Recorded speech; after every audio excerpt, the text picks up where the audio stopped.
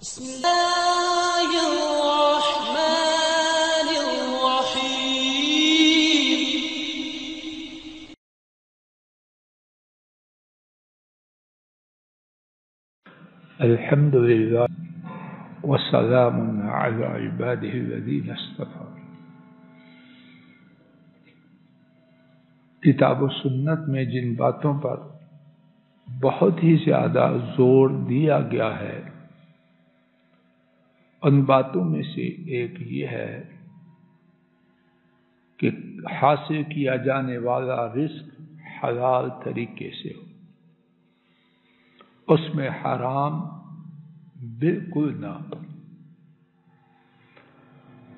अहादीस शरीफा में इस बारे में बड़े प्यारे उम्दा और दिलनशीन अंदाज में बात को समझाया गया है। इसी बारे में अपने महदूद वक्त में दो तीन बातें मैं आप तवज्जो से उन पर गौर करें, अल्लाह करे कि उनके समझने और उनमें गौर करने से हम सबका फ़ायदा पहली बात, इमाम इब्न माजा ने हज़रत जाबिर रदी अल्लाह तहों से रिवायत किया हमारे नबी करीम सल्लल्लाहु अलैहि वसल्लम ने फरमाया अयुहन्नास इत्तकुल्लाह व अजमिलु फित्तलब ए लोगो अल्लाह ताला से डरो और खूबसूरत तरीके से रिजक तलब करो कितना प्यारा अंदाज। फिर समाज फरमाइए ए लोगो, अल्लाह ताला से डरो और खूबसूरत तरीके से रिस्क तलब करो। और उसके बाद फरमाया फ़िन नफसन लन तमुत हत्ता तस्तौफी रिस्क़हा व इन अब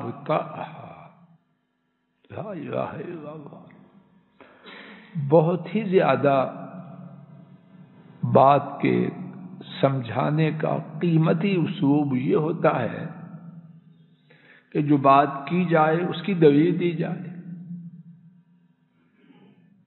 सल्लल्लाहु अलैहि वसल्लम उनके इर्शादात में ये बात बहुत ज़्यादा है। एक बात का हुक्म देते और साथ ही उसकी दलील देते। ये जो हुक्म दिया कि खूबसूरत तरीके से रिस्क बेटा जी ऊपर बैठ जाओ, आपको तकलीफ़ है। ऊपर कुर्सी में बैठ कोई बात नहीं।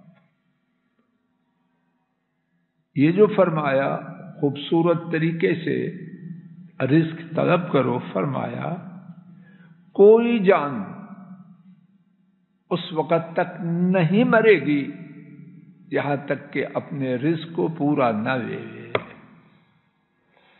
जब रिस्क पूरे का पूरा लेना है, और ये मैं नहीं मिलना है तो फिर उल्टा सीधा होने की क्या ज़रूरत है? जो बात समझाई गई है, उसकी लॉजिक क्यों दुरानी साहब कितनी खूबसूरती से बयान करते यकीनन किसी जान ने तब तक मरना ही नहीं जब तक कि वो अपना रिस्क पूरा पूरा न ले ले हाँ व इन अब व इन अब अनहा।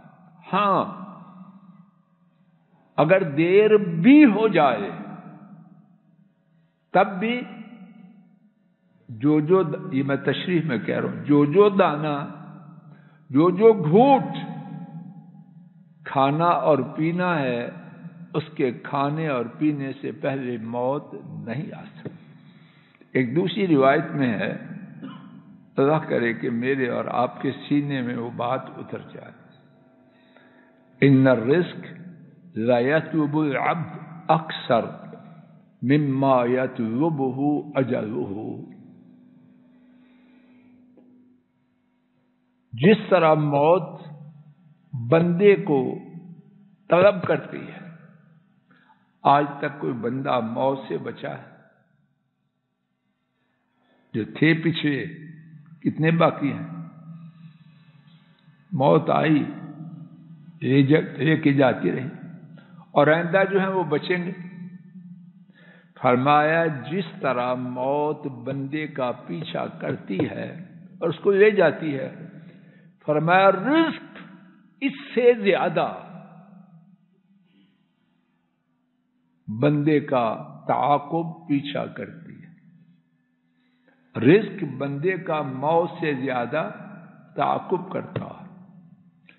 तो ना कोई मौत से बचेगा और जो रिस्क उसके नसीब में है, न कोई उससे बचेगा।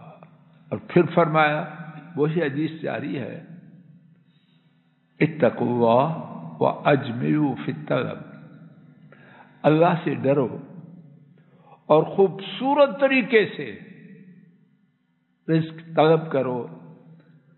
मैं और मेरा सब कुछ कुर्बान हो जाए उन पर।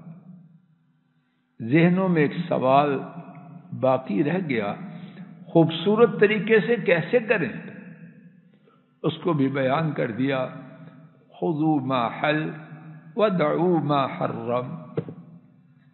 खूबसूरत तरीके से रिस्क तलब करना यह है कि जो हलाल है, उसे ले लो। और जो हराम है, उसे छोड़ दो। यह खूबसूरत अंदाज। देखिए, कितने शानदार अल्फाज में हकीकत को बयान कर। एक दूसरी हदीस में, हलाल रिस्क पर अपने आप को रोकने के लिए एक और बहुत शानदार बात इमाम अहमद राहिमहुल्ला ने एक सहाबी से रिवायत किया रज़ी अल्लाह अन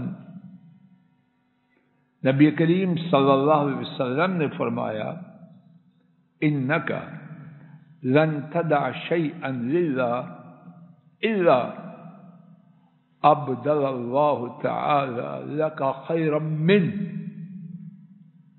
यकीनन तू अल्लाह ताला की कोई चीज़ न छोड़ेगा, मगर अल्लाह ताला उससे शानदार चीज़ तुझे अता करे।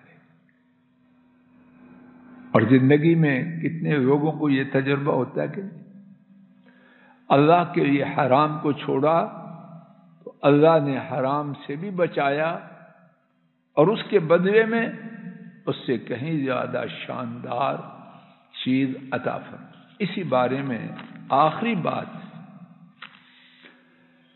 हमारे नबी करीम सल्लल्लाहु अलैहि वसल्लम इस बारे में शदीद एहतमाम करते एक वाक़ का खुलासा सुन लीजिए और बात खत इमाम अहमद रहमहुल्ला ने रिवायत किया, हज़रत अब्दुल्लाबिन अम्र रज़ी अल्लाह अन इसके रावी है।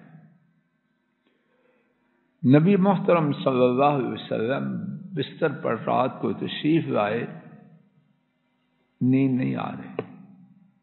नींद नहीं आ रही। उम्मुल मोमिनीन, एक हज़रत सल्लाम की अहिया मोहतरमा हमारी अम्मा ने अर्ज़ किया, या रसूल अल्लाह सल्लल्लाहु अलैहि वसल्लम, अरिक ए अल्लाह के रसूल सल्लल्लाहु अलैहि वसल्लम, आप रात को जागते रहे। क्या सबब फरमाया, मैं बिस्तर पर आया, एक खजूर बिस्तर पर थी। मैंने खा ली। बाद में मुझे ख्याल आया, कहीं यह खजूर सदका की खजूरों में से ना हो। जब खाई तब क्या ख्याल था? घर की खजूरों में से एक खजूर का दाना बिस्तर पर गिर गया। लेकिन बाद में ख्याल आया कि ये खजूर कहीं सदका की खजूरों में से ना हो। तो क्या हुआ? पूरी रात बेकरार रहे, मुस्तरब रहे, नींद नहीं आ रही। अल्लाह ताला अपने फजल करम से कहने वाले को और सब सुनने वालों को अपनी रहमत से हलाल और सिर्फ़ हलाल और सिर्फ़ हलाल कमाने, खाने, इस्तेमाल करने की तोफ़ी अता फरमाए। और हलाल इतना दे कि हराम की सिरे से ख्वाहिश ना रहे। अल्लाह मकफिना बेहलाल का हराम व ना बेफल का अन